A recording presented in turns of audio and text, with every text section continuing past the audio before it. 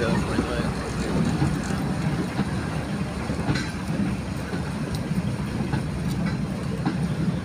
Hãy subscribe cho kênh Ghiền Mì